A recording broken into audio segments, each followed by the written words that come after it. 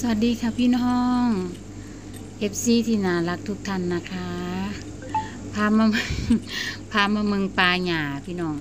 หาต้นบทุเรียนบ่พอเลยดนๆเข้ามาเทนึงเมื่อนี้ว่าสิมาตัดหญ้าพี่น้อง มันหกหลาย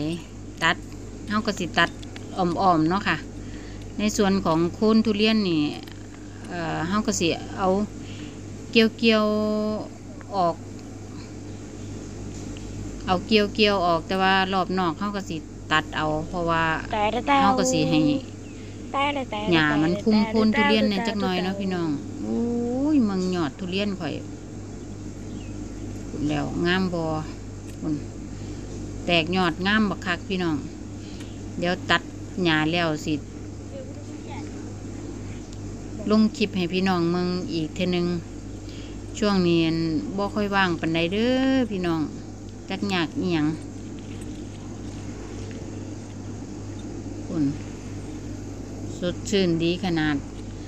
ความสดชื่นส่วนหนึ่งมันก็ได้ความชุ่มชื่นจากหญ้านี่ละพี่น้องหญ้าที่มันปกคลุมหนาดินโค่นทุเรียนนี่ละนี่ต้นปลูกใหม่โอ้ยยอดเพิ่นอ่อนซ่อนคัก หยอดเง่าสัมแม่พี่น้อง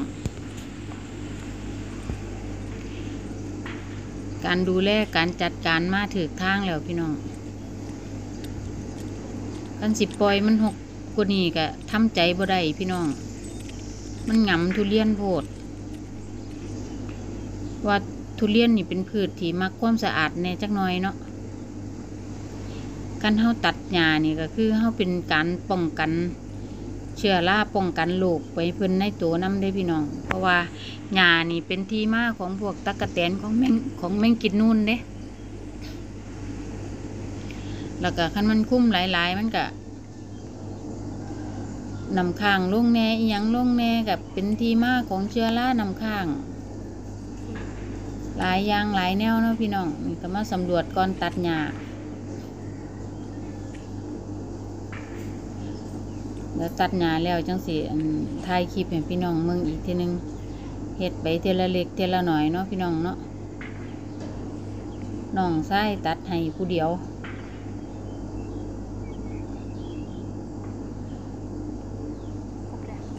อุ้ยต้นนี้ก็ยอดหัวสัวเลยพี่น้องเอ้ย